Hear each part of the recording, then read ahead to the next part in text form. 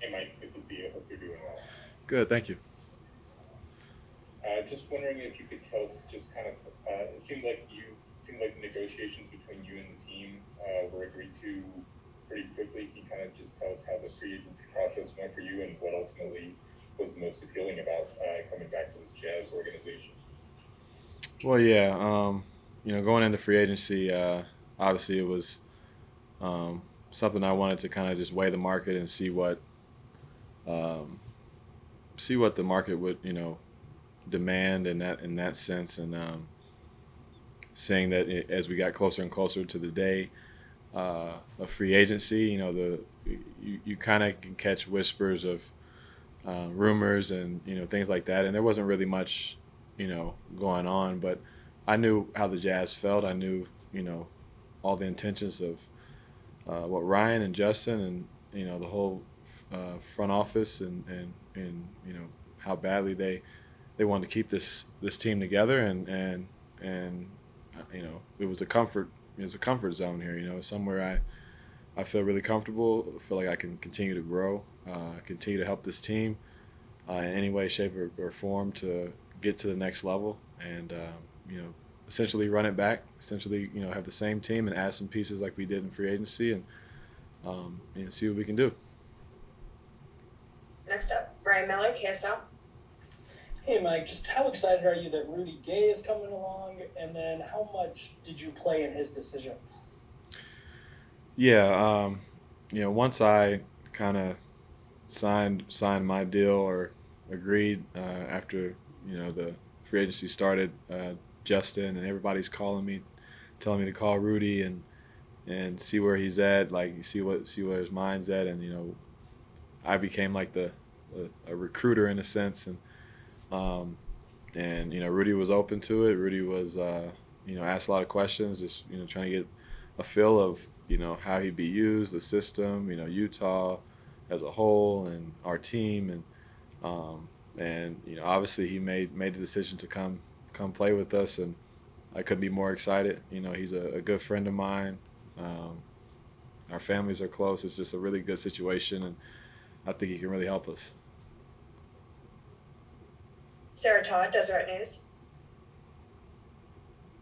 Mike, is, is that role, the recruiter, something that you're comfortable with, something that you've done before?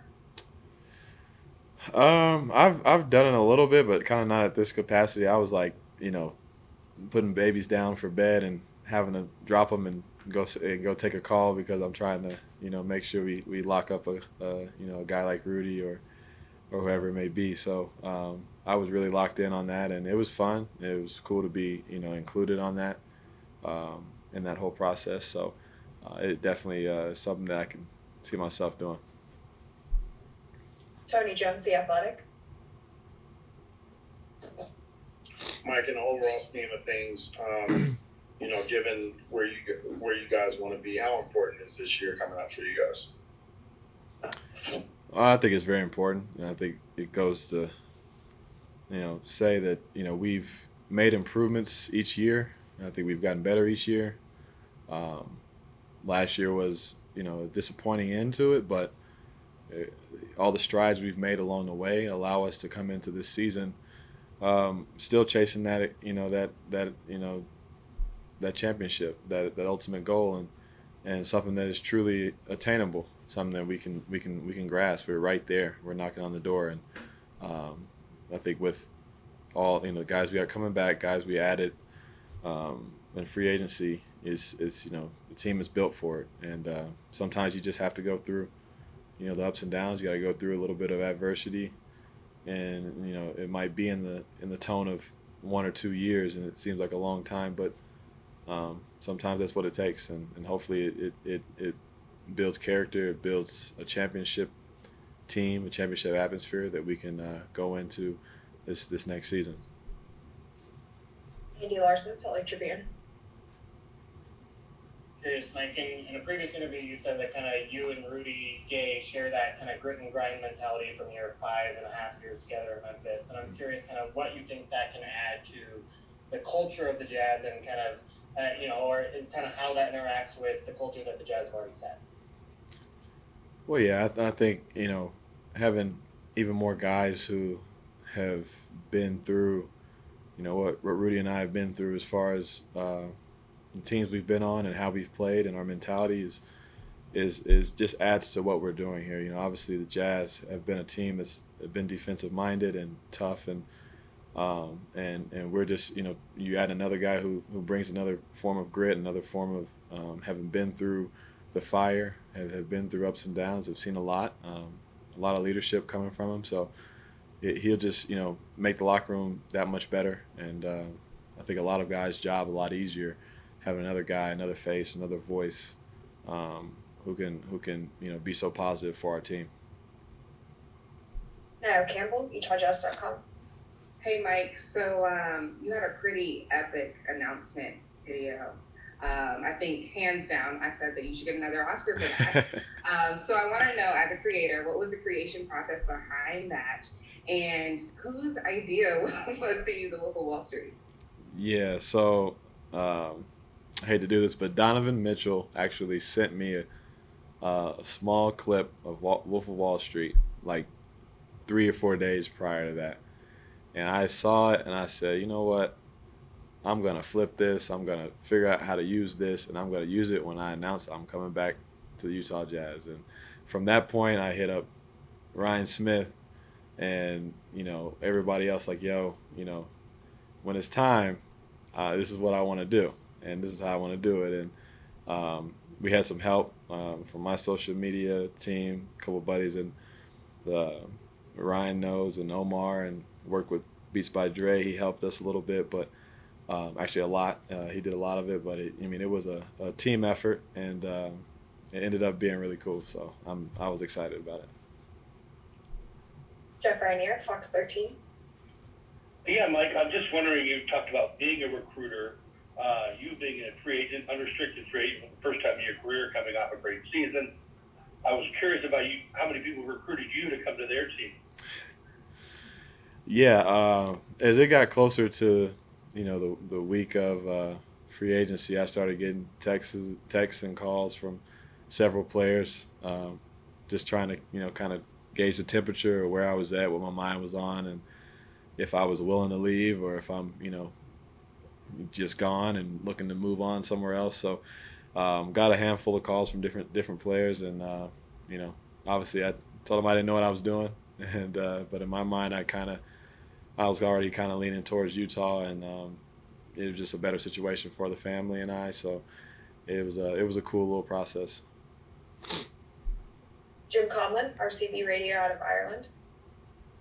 Uh, hi, Mike. Uh, Mike, you mentioned about the Utah Jazz getting stronger this off season as well in terms of recruitments. Uh, how important is that coming back to a team knowing that they're adding to what wasn't a successful uh, season last year. Given that Lakers have torn up the books, uh, adding uh, Westbrook, given that Drummond's gone to Philly, Lowry gone to Miami, all the big contenders have made massive moves this off season. How important is it for the Jazz to keep striving forwards and getting stronger? Well, I think it's very important. I think it says a lot um, about what Ryan, Justin, um, whole management, our staff as a whole um, the mindset is to, to, to chase this championship now, uh, to try to win now, and and in order to do that, you have to be willing to make moves. You have to be willing to continue to be fluid and adjust, um, even as the season goes on. Um, you kind of have to do whatever it takes to give yourself the best opportunity to win. And seeing as other teams are doing the same thing, um, and I know that our team has been, you know, up on the cap and stuff like that, and over the cap, and uh, for us to still be making moves and still trying to make improvements and in every area and facet, um, whether that's on or off the court, it's important that you know that, that they're showing that that their willingness to, to win. All up from Sarah Todd. Mike, you said you were getting texts from players from other teams, but uh, I mean, you mentioned Donovan sending the Wolf Wall Street clip. I mean, were you hearing from guys from the Utah Jazz like, hey man, make up your mind, or telling you they wanted you to stick around? Uh, yeah, yeah, quite often. Um, you know, Joe Ingles was hit me up from Tokyo, and um, he was almost threatening me. I was a little worried for my life there, but uh, obviously Royce and Don and you know JC, everybody, we've all kind of kept in contact anyway. We're in a group chat as it is, so we talk uh, quite often. But um, you know, they, they let me kind of go through the process, but at the same time, when it got when push came to shove, they were, you know, sitting there like, are you know, are you coming back or what? Like we need to we need to get this thing going. So um, they definitely were were in my corner and um, pulling me back to Utah. Ben Anderson, KSLSports.com. Mike, how's your hamstring since the season ended, and, and kind of what's your plan for the summer with it? Yeah, the hammy has been good. It's been really good. I've been training real hard and um, been going through a really good program to try to, you know, hopefully knock out these issues that have been creeping up in the last few years. And um, and you know, as far as uh, I guess what I've been doing is just you know a lot of uh, you know, like I said, a lot of strength, a lot of um, a lot of yoga, a lot of stretching, a lot of things I've kind of taken a a liking to uh, that I haven't really done or um, added to my regiment, but um, it's been good, and I'm excited about the year. I really am, and I think it's going to be a, a, good, healthy one, and it's going to continue to to do do my part and make sure I do everything under the sun to to you know have my body in position to be at its peak. Next up, follow up from Andy Larsen. Just Mike, in general, what have you been doing this off season? I guess besides that, and uh, you know, how much have you been able to stay in Salt Lake or been in Salt Lake, and, and kind of when you, what's your kind of timeline on, on that? I guess. Yeah, um, I've been been in Columbus, Ohio, most of the summer. Uh, a lot of family time, been around the kids, and haven't really traveled much um, up until this week. I, I, went to Salt Lake for a few days, and now I'm in Vegas. So um, I'm about to watch a little bit of the summer league and work out with some of the guys. So, uh, you know, it's been pretty mild, not much going on, and just been training and hanging out and enjoying the time, uh, you know, while we have it. All right, last question is going to be a follow up from Eric Walden. Mike, obviously there, there's the uh, ties there between you and Rudy, but what do you know about the other new guys who the team has added this year, and you know, guys like Hassan and uh, Eric? Yeah, um, I I know Eric just through Donovan. Basically, you know, he's uh, obviously they're really close, and we've crossed paths many times, and um, we got to play against him and, and, know what kind of player and what he brings, and his uh, versatility as a player and ability to guard, and just his physical nature is going to be important for our team. And um, Hassan actually, you know, played on our uh, training camp and preseason uh, with the with the Grizzlies early on in his career when he was maybe probably a rookie. So um, got to meet him a long time ago. Um, so I know him pretty well, and uh, just seeing him now as a you know 30, 31 year old, um, you know, grown up, you know, I just know what he's he's capable of doing, and his his you know his ceiling is really still really high. Um, and we're going to try to get as much out of him as, as we can and, and, make him into the best player that he can be for this team. And um, he can definitely uh, be a game changer for our team.